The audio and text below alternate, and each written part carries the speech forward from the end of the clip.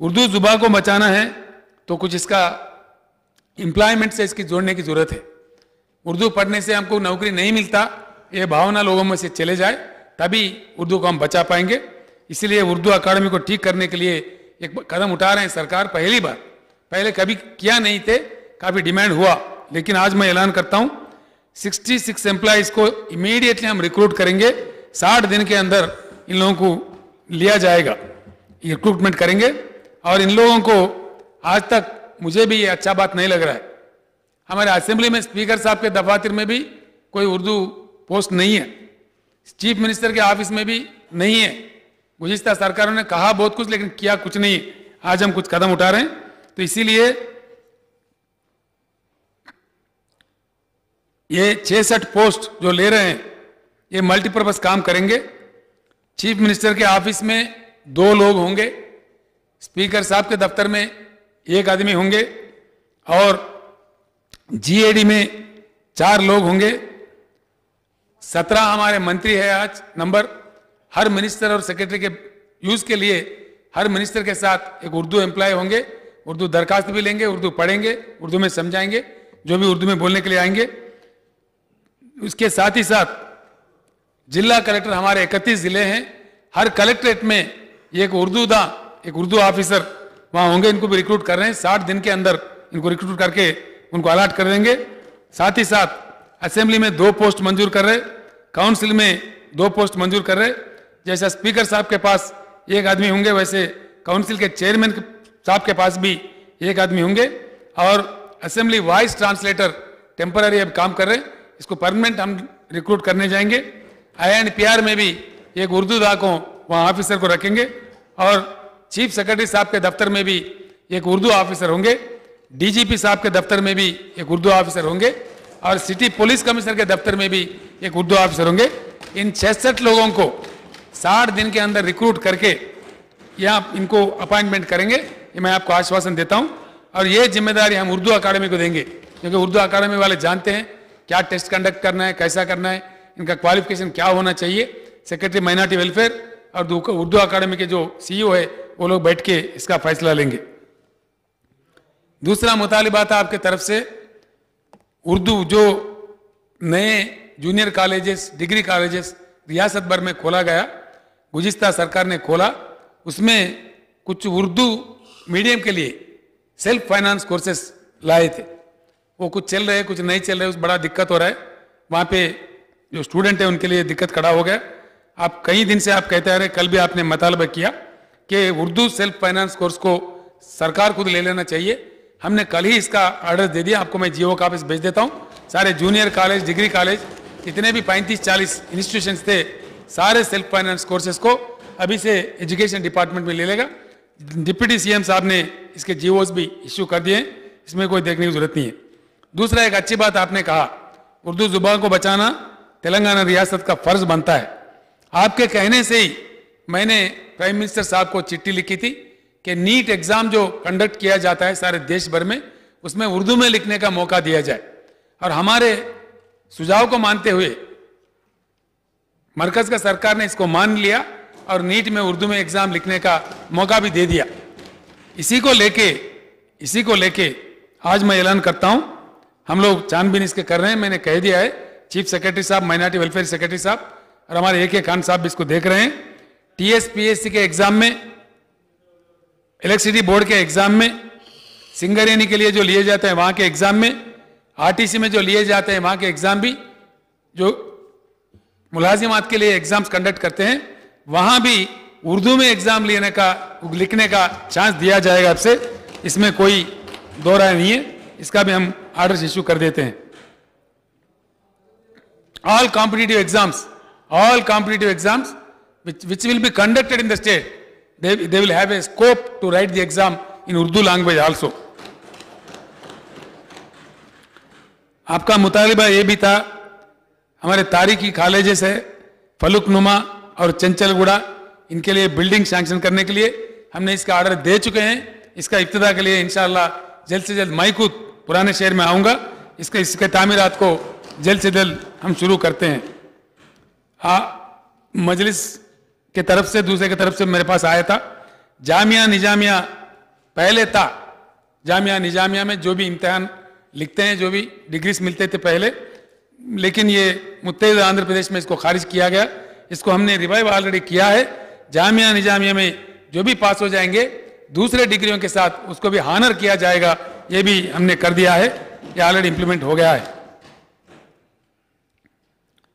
Department को चलाने में, नीचे के दर्जे में, हमारे पास हाँ उर्दू उर्दू के ऑफिसर्स नहीं है। डिस्ट्रिक्ट लेवल में डिवीज़न लेवल में बिल्कुल बर्खास्त हो गए। इन चीज़ों के लिए भी, करने के लिए महाराष्ट्र सरकार ने, कल आप कह रहे थे, आपके तकरूर में कुछ इंतज़ाम किया है। मैंने डिप्टी सीएम साहब से गुजारिश किया, कडियम सियारी साहब से, वो एक डेलीगेशन लेके जल्द से जल्द महाराष्ट्र दौरा करेंगे, उसको स्टडी करके आ जाएँगे। वो अगर अच्छा है तो उससे इम्प्रूव वेराइटी में हम भी उसको यहाँ पे इम्प्लीमेंट करने का पूरा कोशिश करेंगे। उर्दू सेकंड लैंग्वेज ये भी बड़े दिन से डिमांड है हमारे पास। मुतहदा आंध्र प्रदेश में इसका कोई अलग ही ढंग था, जो कि उसमें तेईस जिलों में कुछ जगह उर्दू जानने वाले थे ही नहीं, लेकिन कुछ जिलों में लागू कर रहे थे, कुछ जिलों में नहीं कर रहे थे। आज मैं ऐलान करता हूँ ज़िले को यूनिट नहीं कंसिडर करते हुए स्टेट एक यूनिट बना के सारे तेलंगाना रियासत में Urdu will be considered Urdu will be practice as a second official language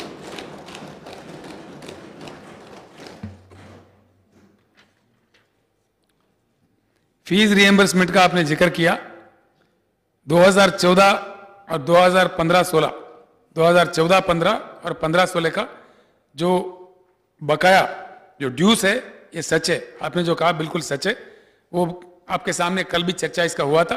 वो 57 करोड़ से उसको कल ही ऑर्डर दे दिए। जल्द से जल्द उसको ड्यूस क्लियर कर रहे हैं जहाँ तक 216 और 217 का फ़ीस रिएम्बर्समेंट में है, इसमें आप जो कहे थे वो फिगर बिल्कुल सच है। 239 करोड़ लेकिन ये डायनेमिक फिगर है। इसमें से 130 करोड़ पेमेंट हो गया। बाकी प्रोसेस में जैसे जैसे इंस्टीट्यूशन आते रहते हैं, दरखास्त आते रहते हैं, सरकार में एक तरीका है। दूसरे जमात को, दूसरे इंस्टीट्यूशन को जिस तरह से किया जा रहा है, इनको भी इसी तरह से किया जा रहा है। इसमें कोई फ़िक्र करने की ज़रूरत नहीं है। ये बिल्कुल जल्द से जल्द हो जाएगा। दरगाहों के तरक्की के लिए आपने एक मुतालबा रखा। पहाड़ी शरीफ के लिए आपने कहा। वहाँ साढ़े नौ करोड़ हमने ऑलरेडी सैंक्शन किया, जो भी इश्यू किया, वो आपको भेज देते हैं। जहांगीर पीरों के पास तेलंगाना रियासत बनाने के लिए हमने भी मन्नत मांगी थी। मैं मैं कल वहाँ जा रहा हूँ। वहाँ का छानबीन करके उस जहांगीर पीर दरगाह के लिए जो करना चाहिए, वह कल मैं अपना फैसला वहाँ सुनाऊँगा इंशाल्लाह। मौला अली दरगाह, जो हमारे शिया भाइयों के लिए बहुत ही जाना माना हुआ श्रेण है, उसके लिए एक रास्ता बनाने के लिए आपने बोला। मैंने जीएचएमसी कमिश्नर को इसका ऑर्डर्स दे दिए हैं। GHMC will take up the construction of route to the Maula Ali दरगाह।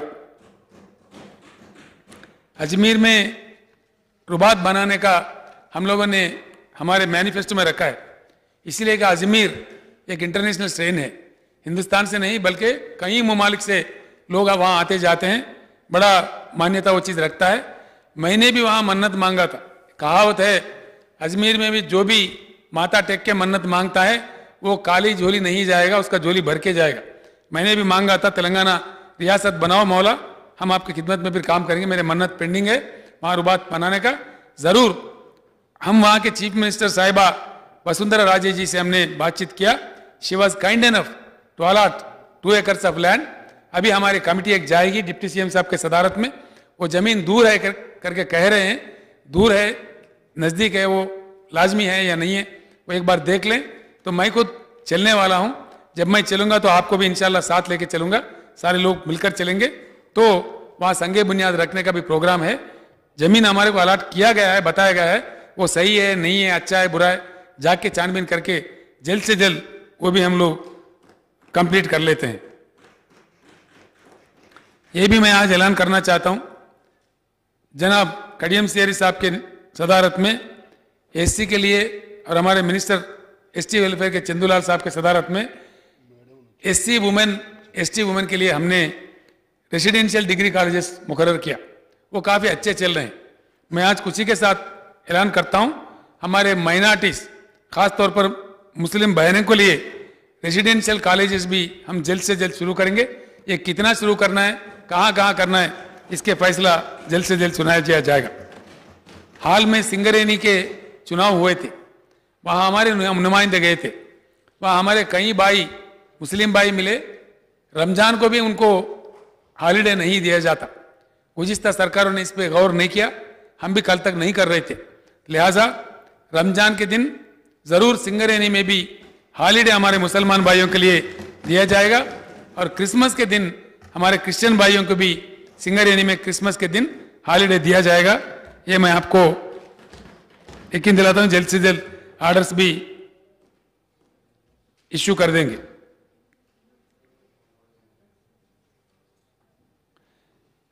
అధ్యక్ష తెలంగాణలో మనందరికి తెలిసినట్టుగా ముస్లింల సంఖ్య చాలా ఎక్కువ. తర్వాత మైనార్టీస్ వాళ్ళు కూడా ఉన్నారు. వీరికి సంబంధించి విద్యా విషయాలలో కొన్ని చర్యలు తీసుకున్నాం. నేను తీసుకున్న చర్యలు చాలా వరకు వివరించాను. నిన్న వచ్చిన డిమాండ్ల విషయంలో కూడా నేను స్పందించి చెప్పడం జరిగింది. ఇందులో ప్రార్థనా మందిరాలలో పనిచేసే వాళ్ళు హిందూ దేవాలయాలలో పనిచేసే పూజారులకు ఈ మధ్యనే ప్రభుత్వ ఉద్యోగస్తులతో సమానంగా వేతనాలు ఇచ్చే నిర్ణయాన్ని ప్రభుత్వం తీసుకున్నది. ధార్మిక పరిషత్తు ద్వారా వాళ్ళకు నెలా నెల రెగ్యులర్గా జీతాలు ఇచ్చే ప్రయత్నం చేస్తూ ఉన్నాం. గతంలో ఎప్పుడు లేదు ఏ ప్రభుత్వం కూడా ఆలోచించలేదు. కానీ మసీదులలో పనిచేసేటువంటి ఇమాంలకు మౌజన్లకు థౌజండ్ రూపీస్ ఇస్తామని మేము మా ఎన్నికల్లో చెప్పాం. దాన్ని అమలు చేశాం. మధ్యలో డిమాండ్ వస్తే దాన్ని పదిహేను వందలకు పెంచాం. దీన్ని కూడా భవిష్యత్తులో పెంచే ప్రయత్నం చేస్తాం అధ్యక్ష.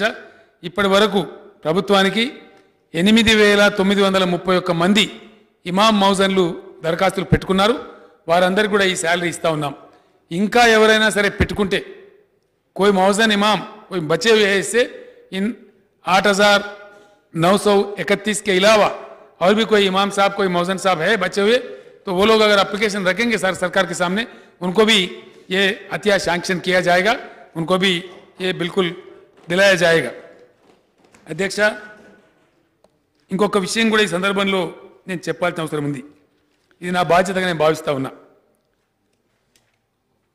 మైనార్టీల వెల్ఫేర్కు ప్రభుత్వం కట్టుబడి ఉందని చెప్పడంతో పాటు కొన్ని సందర్భాలలో చెలరేగేటటువంటి ప్రచారం చేయబడేటువంటి కొన్ని అపవాదులు తెలంగాణ సమాజం మీద నుంచి కూడా తెలియాల్సింది అధ్యక్ష. ఇది చాలా ముఖ్యమైన విషయం. ఏ రోజుకైనా సరే ఈ దేశంలో తప్పకుండా అందరం కలిసిమెలిసి ప్రేమానురాగాలతో బతకడం తప్ప వేరే మార్గం లేదు అధ్యక్ష. ఖచ్చితంగా అందరం ప్రేమతోని అనురాగంతో కలిసిమెలిసి బతకాల్సిందే. అధ్యక్ష ఒక విషయం బాధ కలిగిస్తూ ఉంటుంది చాలా సందర్భాలలో. కొంతమంది నన్ను విమర్శించే సందర్భంలో కూడా నయా నైజాం కేసీఆర్ అని విమర్శ చేస్తూ ఉంటారు. ఎవరిదైనా పర్వాలేదు అధ్యక్ష తప్పు ఉంటే తప్పని చెప్పుదాం కానీ ఒప్పును ఒప్పని చెప్పుదాం. ఎందుకు చేసినారో తెలియదు. సమైక్య పాలకులు ఒక దుర్మార్గమైన ప్రచారాన్ని పెట్టినారు. చాలా దుర్మార్గమైన ప్రచారాన్ని పెట్టినారు. దానికి అనేక ఇతరులు కూడా దోహదపడ్డారు. నేను దాన్ని ఖండిస్తా ఉన్నాను. అది కరెక్ట్ కాదు అధ్యక్ష. ఎందుకంటే కొంత కొంతమంది అయితే ఈవెన్ తెలంగాణ ఉద్యమం జరిగే సందర్భంలో కూడా తెలంగాణ అంటేనే మీకు రజాకార్ అది తప్ప మీకేం చరిత్ర లేదు అంటే ఒక దుర్మార్గమైనటువంటి ప్రచారం చేసినారు అధ్యక్ష. అవి వాస్తవాలు కావు. తెలంగాణకు ఉజ్వలమైన చరిత్ర ఉంది. గొప్ప చరిత్ర ఉంది. అద్భుతమైన చరిత్ర ఉంది. అది వక్రీకరించబడ్డది. అది సరిచేయాల్సిన అవసరం ఉంది. తెలంగాణ సమాజం ఇక్కడ ఉండబడే అన్ని మతాలు అన్ని కులాలు అన్ని వర్గాల ప్రజలు చాలా గొప్పగా బతకాలంటే డెఫినెట్గా అందరం సామరస్యంతో ఉండాలి. ఒకరి మీద ఒకరికి ఆ అసహ్యపూర్వక ధోరణి ఏయ భావం తొలగించాల్సిన అవసరం ఉంది. ఆ బాధ్యత తెలంగాణ ముఖ్యమంత్రిగా నా మీద ఉంది అధ్యక్ష నేను వెనక్కిపోవడం లేదు. అందుకే నేను తెలంగాణ ఉద్యమంలో ఉన్నప్పుడు నిజాం కుటుంబీకులను రిక్వెస్ట్ చేస్తే నేను ఆయన సమాధిని సందర్శించడం జరిగింది అధ్యక్ష. ఆనాడున్న సమైక్య పాలకులు చాలా పెద్ద దాడి చేసినారు నా మీద. నేను అపరాధం చేసినట్టుగా చేసినారు. టీవీ చర్చలలో కూడా నన్ను కూర్చోబెట్టి మాట్లాడినారు. నేను చెప్పిన అధ్యక్ష. అధ్యక్ష నేను ఒకటే మాట చెప్తా ఉన్నా. కొందరికి ఇష్టం ఉండవచ్చును కొందరు లేకపోవచ్చును కానీ సత్యం సత్యంగా ఉంటుంది.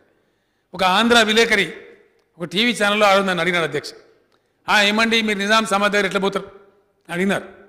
నేను ఆయన ఒక మాట అడిగిన. మీరు ప్రతి సంవత్సరం ఆంధ్రాలో కాటన్ దొర ఉత్సవాలు నిర్వహిస్తారు. మీరు ఎందుకు నిర్వహిస్తారని అడిగిన అధ్యక్ష. ఆయన మాకు కృష్ణా ఆనకట్టు కట్టినాడండి మాకు నీళ్ళు ఇస్తారండి అందువల్ల మేము పూజిస్తామని చెప్పిన మరి అయ్యా తెల ఆంధ్రప్రదేశ్ ఆనాడు అధ్యక్ష ఆంధ్రప్రదేశ్లో నిజామాబాద్ అని జిల్లా ఉంది. అక్కడ నిజాం సాగర్ అని ప్రాజెక్ట్ ఉంది. మరి మిమ్మల్ని ఎవరైనా ఈ ప్రాజెక్టు ఎవరు నిర్మించిరి? అంటే ఏం సమాధానం చెప్తారండి? రెండు వందల సంవత్సరాలు ఈ దేశాన్ని చెరబట్టి ఈ దేశ సంపదను దోచుకెళ్ళినటువంటి బ్రిటిష్ వలసపాదకుల యొక్క మిలిటరీ ఇంజనీర్ కాటన్. అతను నిర్మిస్తే మీరు పూజించవచ్చు. But here Nizam is my king Nizam is my history Nizam మన తెలంగాణ రాజు. నిజంగా నిజాం మన తెలంగాణ చరిత్ర. మరి ఆయన నిర్మించిన నిజాం సాగర్ సంగతి ఏంది? దాన్ని ఒప్పుకోవద్దా? అది నిజం కాదా? ఈ రోజు కూడా వాడుకుంటున్నాం కదా అధ్యక్ష నిజాం సాగర్ను కాబట్టి ఇటువంటి చాలా ఉన్నాయి. ఆయన చేసిన మంచి పనులు ఉన్నాయి ఇక మనం గొప్పగా చెప్పేటువంటి నిజాం ఆర్థోపెడిక్ హాస్పిటల్ అధ్యక్ష. ఇది చాలామందికి తెలియదు తెలంగాణ ప్రజలకు. గుమ్రాహ చేసినారు. ఇది తెలవాల్సిన అవసరం ఉంది తెలంగాణ సమాజానికి. ఈ కొత్త చరిత్ర రాపిస్తాం డెఫినెట్గా తెలంగాణ యొక్క నిజమైన చరిత్ర ఏందో దాన్ని రాపించి ప్రజలకు ముందు తరాలకు అందుబాటులోకి తెస్తాం. ఇది నా బాధ్యత అధ్యక్ష. తెలంగాణ రాష్ట్ర తొలి ముఖ్యమంత్రి నా బాధ్యత. ఇక్కడ నా అపోహలు పోవాలి. అధ్యక్ష నిజాం రాజు తన పదవి కోల్పోయిన తర్వాత హైదరాబాద్ సంస్థానం భారతదేశంలో విలీనమైన తర్వాత ఆయన రాజ్ ప్రముఖ్ పదవులు ఉంటాడు అధ్యక్ష.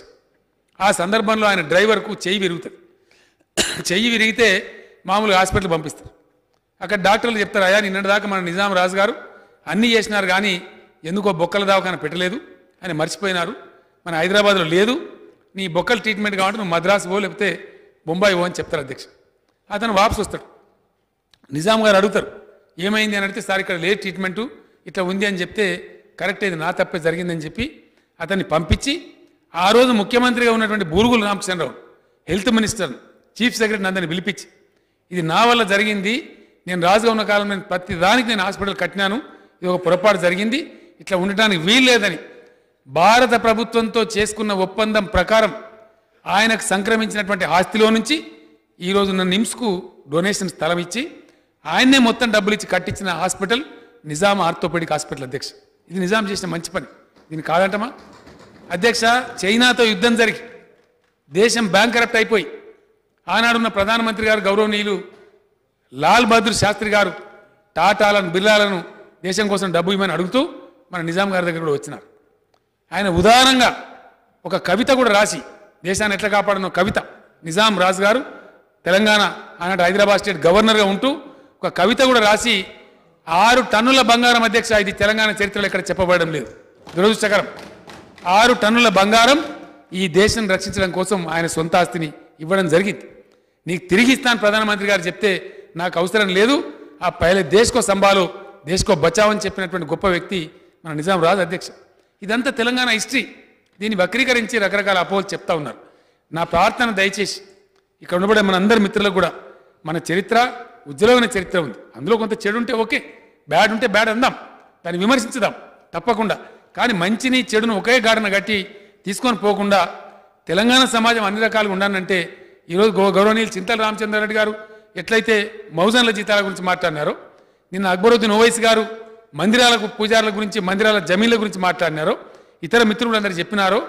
సున్నం రాజయ్య గారు కూడా శ్రీరాముల గురించి భూముల గురించి మాట్లాడినారో. ఆ స్ఫూర్తి కొనసాగాలి. కొనసాగాలంటే ఈ అపోహలు పోవాలి.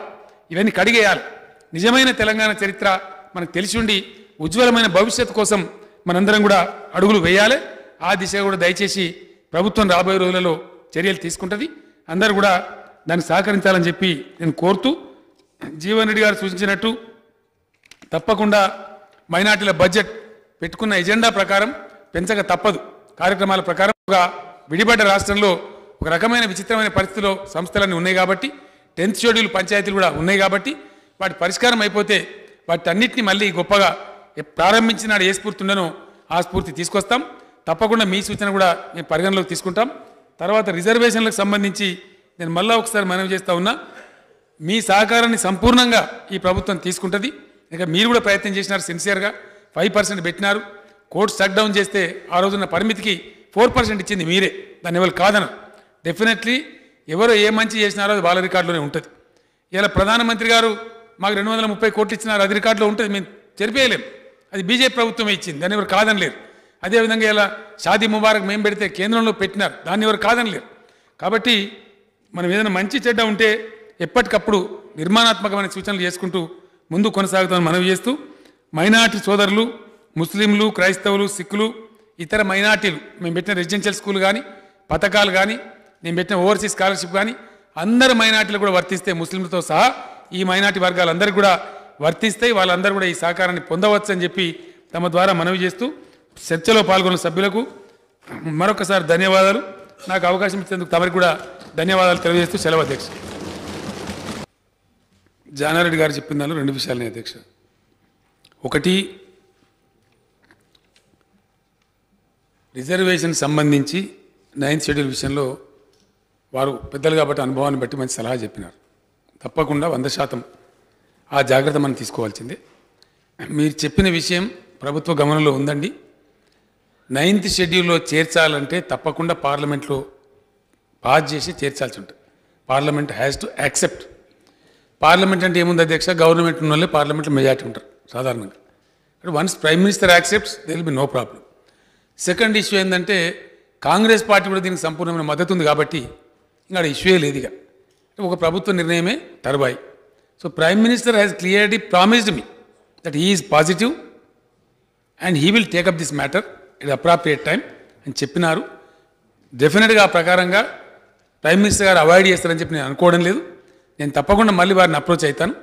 ఆ తదనంతరం అవసరం అవసరమని భావిస్తే మనందరం కూడా కలిసి అఖిలపక్షం కూడా పోదాం. ఇది అందరికి సంబంధించిన విషయం కాబట్టి ఆ విధంగా దాన్ని చేయించుకుందాం. పార్లమెంట్లో విషయం పెట్టే విషయం నాకు ఐడియా ఉంది. ప్రభుత్వానికి అని చెప్పి మనం చేస్తా ఉన్న అధ్యక్ష. మీరు కొద్దిగా కన్ఫ్యూజ్ అయిన జానారెడ్డి గారు ఎనిమిది వేల కోట్లని నేను చెప్పలే. ఎక్స్పెండిచర్లో రెసిడెన్షియల్ స్కూల్లో అక్బర్ గారు మాట్లాడుతూ ఒకరోజు ఏమన్నారంటే మీరు ఇంత పెద్ద సంఖ్యలో పెడుతున్నారు. By the time you reach twelfth class you need to spend two thousand six hundred and fifty crores. Are you prepared for that అని వారు అడిగినారు. Two thousand six hundred fifty crores గ్రాడ్యువల్గా వస్తే స్టెప్ బై స్టెప్ మేము పెంచుకుంటూ పోతాం. ఇందాక జీవన్ రెడ్డి గారు రేజ్ చేసిన కూడా అదే చెప్పాను. వారు వారు ప్రతిపాదించినట్టు ఎట్లా ఇంత పెద్ద కార్యక్రమాలు పెట్టుకున్నాం కాబట్టి బడ్జెట్ పెంచక తప్పనే తప్పదు. అది ఎట్లా పెరుగుతుంది. ఆ విధంగా చెప్పినాం. తర్వాత ఎనిమిది వందలని తమరికి వచ్చింది ఏంటంటే రెండు వేల పదహారు పదిహేడులో పెట్టిన ఖర్చు ఎనిమిది వందల యాభై ఎనిమిది కోట్లని చెప్పింది అది. దాన్ని మీరు ఇటు వర్తింప చేసుకున్నది కరెక్ట్ కాదు. రెండు వేల ఆరు వందల కోట్లు. ముందుకు అయిద్దని నేను చెప్పినాను ఇది ఓన్లీ ఎక్స్పెండిచర్ మాత్రం చెప్పినాను. ఫైనాన్షియల్ ఇయర్ ఎక్స్పెండిచర్ చెప్పిన తప్ప వేరే కాదు. ఈ వీడియో మీకు నచ్చినట్లయితే లైక్ చేసి షేర్ చేయండి. సబ్స్క్రైబ్ చేయడం మర్చిపోకండి. ప్లీజ్ సబ్స్క్రైబ్ ఫటాఫట్ న్యూస్